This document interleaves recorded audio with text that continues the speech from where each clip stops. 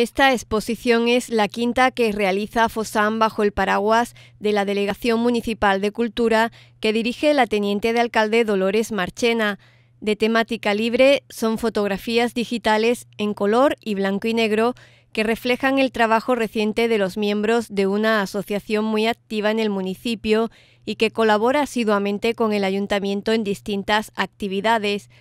AFOSAN está presidida por Francisco Guzmán y se marca como principales objetivos el fomento de la fotografía como expresión artística, la creación de una galería de exposiciones permanente, la colaboración con el ayuntamiento en todos aquellos actos relacionados con la fotografía para los que sea requerida esa ayuda, ofrecer a sus socios y ciudadanos en general clases, seminarios y actividades para el aprendizaje o perfeccionamiento